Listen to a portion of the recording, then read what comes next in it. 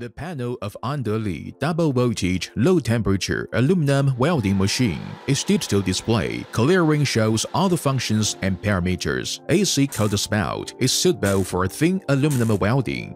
AC argon arc pulse is suitable for quick welding of aluminum plate. DC cold spout focuses on sheet welding with no discolor and no sanding. DC coating turbo can continue spout welding rapidly on sheet metal. DC argon arc spout is suitable for thick plate welding. DC argon arc pulse is suitable for fast welding of thick plate.